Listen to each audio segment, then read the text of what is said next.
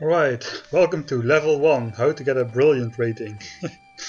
I've decided to include this one just for completeness sake, but you know, as long as you just keep spending all your money, um, I really don't think you can screw this one up, so yeah, guess I'm just a little too OCD to have all the levels and then not have the level 1 tutorial level. So here it is, so how, here's how to do it. How to not get any of your gems touched by the, by the good heroes.